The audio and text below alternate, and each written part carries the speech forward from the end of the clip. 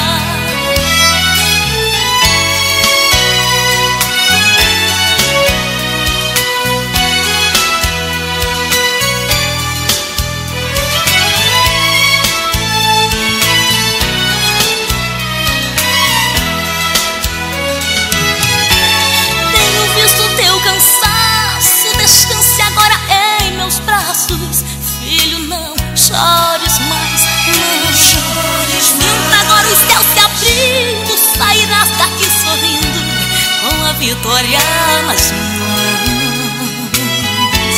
No choro ao céu.